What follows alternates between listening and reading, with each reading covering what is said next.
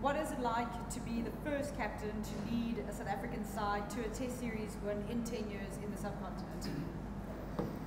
Um, yeah, I don't necessarily enjoy um, stuff like that. So um, for me, it's more special being a part of a team that's just won for the first time um, in 10 years in the subcontinent. So um, as a player of the team, incredibly proud.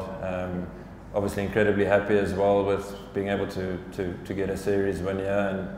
And obviously knew it was never going to be easy, but very fortunate that we, we had some special performances along the way that got us into really strong positions and, and we were able to apply pressure through that. So um, yeah, a proud moment for all of us, absolutely, and, and one that we'll reflect back on in the years to come as a, as a special tour.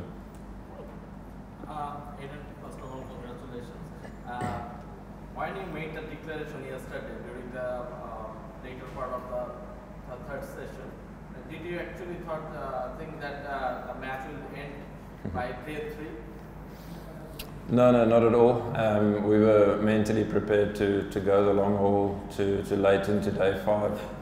Um, as an opening batter, I know batting in, in times like that, it's, it's really not easy. There's, there's nothing to gain and, and can be quite tricky. So, um, along with the fact that we wanted to almost use the new ball twice, so for 10 overs to 15 overs the night before and then still have a relatively new ball the next day. So um, didn't think it would be it would be sitting here now at the, the end of today the game would be done, but um, yeah, some, some special bowling stuff and, and bowling in partnerships that um, were extended for long periods of time and, and ultimately got us the wickets to, to be able to sit here now.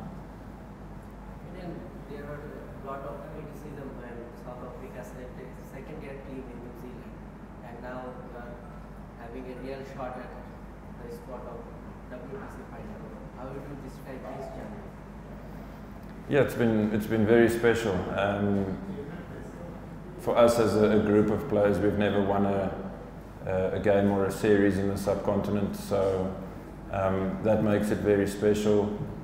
Obviously, to to be still in the mix in terms of the log for the, the World Test Championship is, is a great thing as well. So um, you want to keep your name in the hat. You, you want to keep plugging away and, and, and see where you, you sort of lay in four test matches time. But all you can really do is, is look after each, each day of each test match at a time and, and see where it gets you. So um, it'll, it'll be a, a, tour we reflect on with, with very sort of special memories and, and a tour that will sort of keep very close to us for the years to come.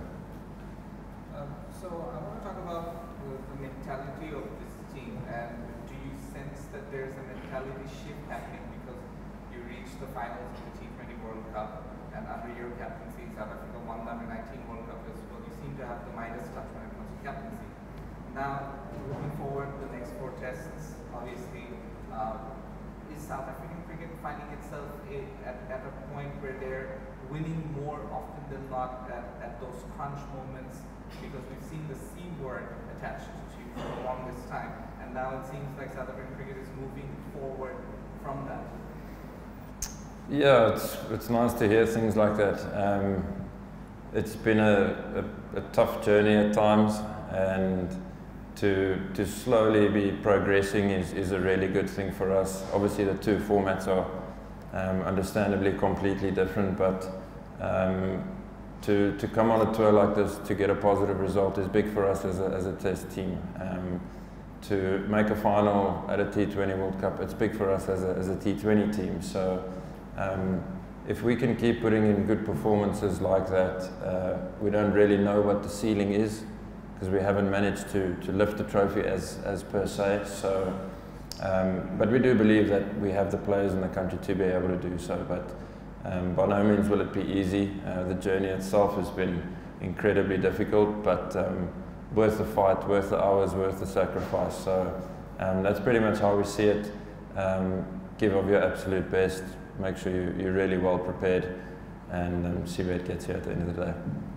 Uh, uh, with all due great uh, respect and credit to your bowlers, but still, uh, uh, do you surprised that, that the, the way Bangladeshi batters are dismissed in both innings, uh, like in the like first in first two days the wicket was good. Was the wicket was so do, uh, bad today, or like it was also very good wicket bad on today? What is your realization? Yeah, it's a tough one. Um, I do think our bowlers bowled really well, and you have to you have to acknowledge that. Um, test cricket is a strange thing when you when you're far behind the game. Um, you you want to make a difference as a player, and you want it to happen now. And unfortunately, when you're that far behind the game, it, it does take time. So. Um, obviously, I can I can imagine that the, the Bangladesh team had, had massive best interests at heart playing that way, but it didn't work out, and that can happen in Test cricket. So um, a lot of the credit has to go to the first two days, I would say, um, batting really big ones, and then being able to, to do what we did last night with the ball and take four wickets when ultimately you're just hoping for one with a maximum of maybe two. So that sets up the game very differently and um, allows us to, to keep attacking pretty much for the rest of the game. So with regards to batting yourself and also overall the team, a lot has been made about the top six. Uh, is it something that the batters are looking to work on in terms of averages, like making it up to 40 or close to 50 in test cricket? One, your performances in general, um, are you a little disappointed that you didn't cash in on such a good wicket, whereas everyone else, three of them got their maiden test centuries? Of course, I'm, I'm disappointed. Um, really hungry to, to score big runs again in Test cricket, so um, we'll keep putting in the work and, and hopefully it can pay off. Um, but as for, for numbers and stuff like that, it's all quite relative. Um, you look at different surfaces that you play on, um, and wickets around the world are so different to each other and, and, have so many different types of challenges that you face as a batter.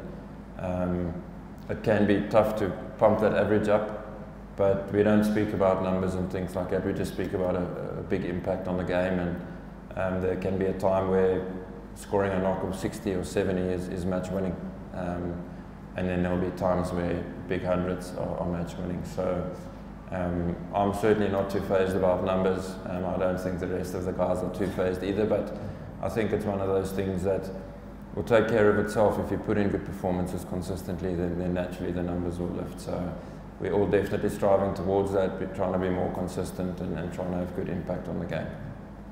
Any last questions? Just back. Uh, there are a lot of confusion about this series before the series started, and uh, you played two matches in Mirpur and Chittagong, and uh, both the matches you home. So, do you happy about the hospitality, hospitality and the security because there are lots of confusions about the security also? Yeah, I mean it was it was quite confusing be before coming here. Um, lots of unknowns and, and what about this and what about that. But um, if I'm being very honest, we, we've actually had a really good time here. The hospitality from a hotel point of view has been really good. Uh, people always are, are, really friendly and welcoming. Um, and then logistically, how things how things worked on the roads, the security side of things, um, it went really smoothly. So, from our side, we, would like to thank everyone involved um, who, who made that such a big success. And um, yeah, we, will always look forward to coming back to Bangladesh.